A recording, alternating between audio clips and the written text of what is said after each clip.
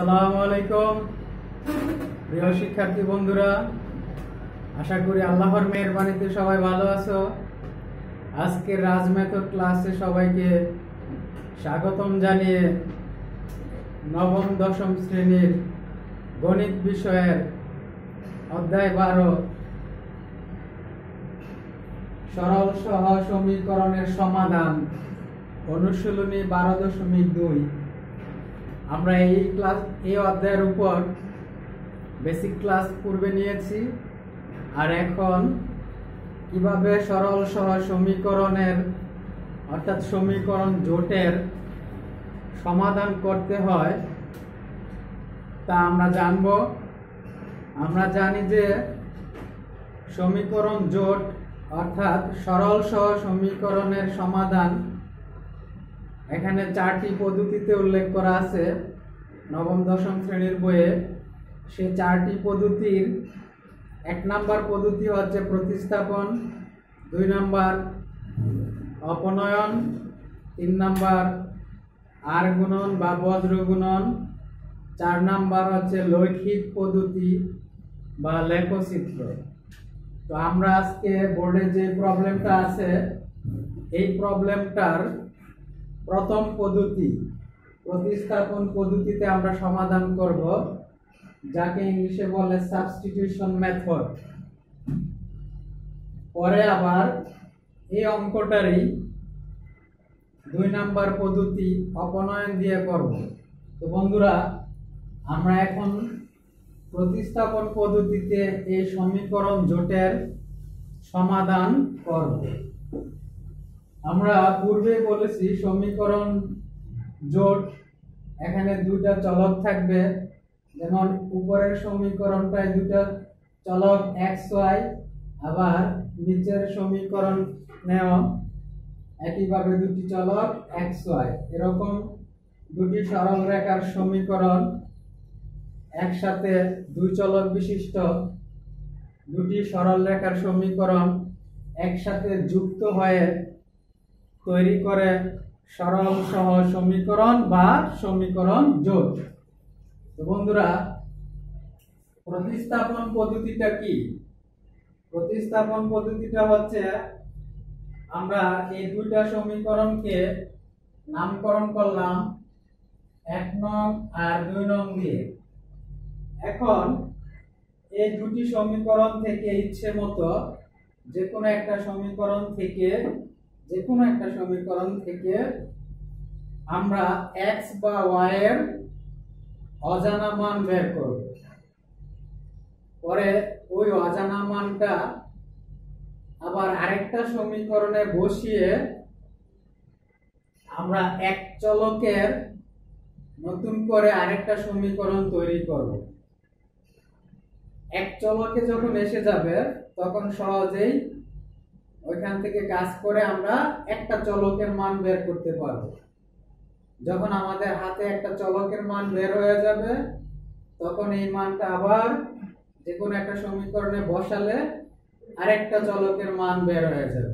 আর এই সিস্টেমটাই হচ্ছে কি? প্রতিস্থাপন পদ্ধতি, সাবস্টিটিউশন মেথড। তো বন্ধুরা, চলো আমরা অঙ্ক শুরু করি। আমরা যে কোনো একটা সমীকরণ নিব, তা আমি ইচ্ছা পোষণ করলাম এক নং নিব। তাহলে আমরা লিখলাম one implies that one implies that এর মানে হচ্ছে এক নং হতে পাই। তাহলে এক নংটা কি আছে? টু এক্স প্লাস ওয়াই সমান সমান এইট এখান থেকে আমরা চলো ওয়াই এর একটা অজানা মান বের করব। তাহলে y এর সাথে 2x কি আকার ছিল? যোগ আকার। ওই পারে গেলে কি হবে? বিয়োগ আকার। তাহলে বন্ধুরা, আমাদের y এর একটা কি মান বের হলো? অজানা মান। এখানে আমরা এখানে আরেকটা স্টেশন দিব 3 নং। তাহলে y এর এই অজানা মানটা কেন অজানা? কারণ এখানে আরেকটা চলক আছে, x এখন এই y এর অজানা মানটা আমরা কিন্তু বের করছি এক নং থেকে। এক নং থেকে যেহেতু বের করছি, তাহলে আমরা এই অজানা মানটা, y এর এই অজানা মানটা এখন বসাবো দুই নঙে আমরা লিখব যে দুই নং এ y সমান সমান 8 মাইনাস 2x বসাই। কয় নঙে বসাই? দুই নঙে দুই নঙে বসানোর পূর্বে আমরা দুই নংটা সুন্দর করে লিখি। দুই নংটা কি আছে? 3x মাইনাস 2y সমান সমান 5 এখন y কোথায় আছে? এখানে। তাহলে y এর জায়গায় আমরা কি বসাবো? 8 মাইনাস 2x এই যে এই অজানা মানটা বসাবো। তো অবশ্যই এখানে কি দিতে হবে? ব্র্যাকেট কারণ y এর সাথে 2 কি আকার আছে? গুণ আকার। আমরা ব্র্যাকেট দিয়ে মানটা বসাই। 8 মাইনাস 2x সমান সমান 5 দেখো বন্ধুরা, এখন কিন্তু এটা এক চলকে পরিণত হলো। এক চলকের সমীকরণ হয়ে গেল। কারণ এখানে চলক একটা কোনটা? সেটা হচ্ছে x তাহলে এখান থেকে আমরা x এর মান বের করব।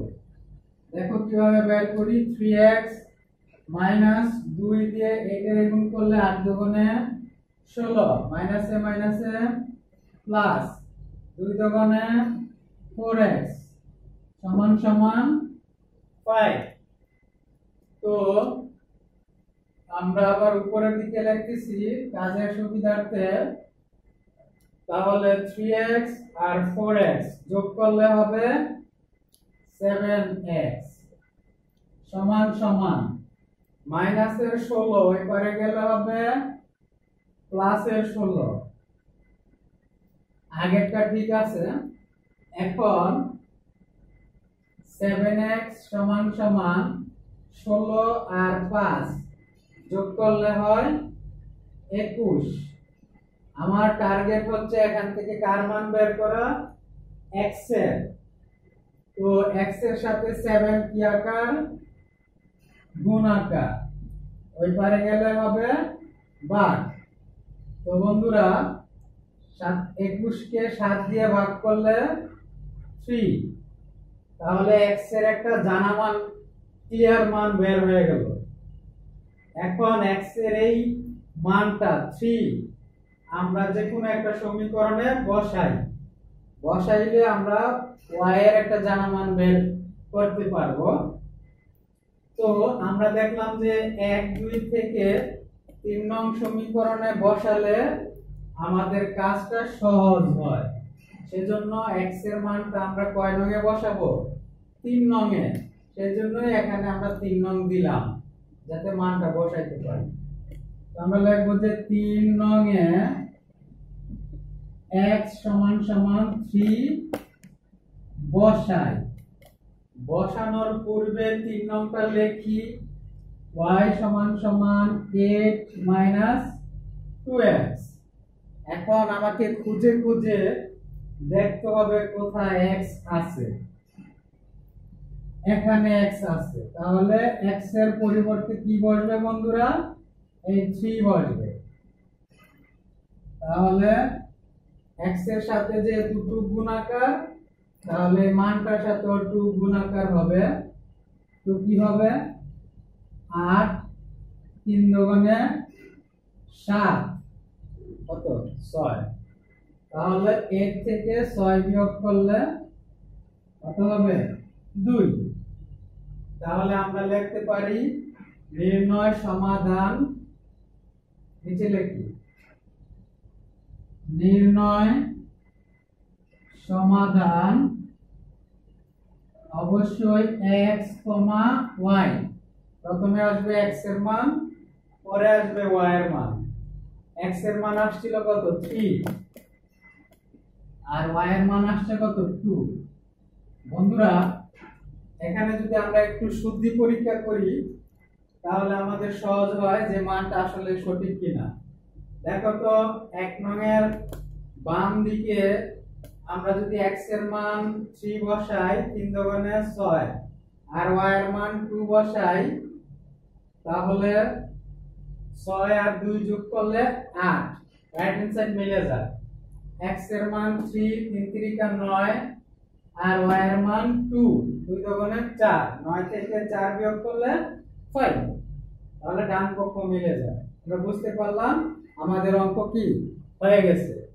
তাহলে এই গেল আমাদের প্রতিস্থাপন পদ্ধতি। এখন আমরা অপনয়ন শিখব। বন্ধুরা, আমরা তো এই প্রবলেমটা শিখলাম কি পদ্ধতিতে? প্রতিস্থাপন পদ্ধতিতে। এখন পরবর্তী ক্লাসে আমরা এই অঙ্কটাই আরেকটা নিয়ম অপনয়ন দিয়ে করব। আজকের নয়। Thank you thank you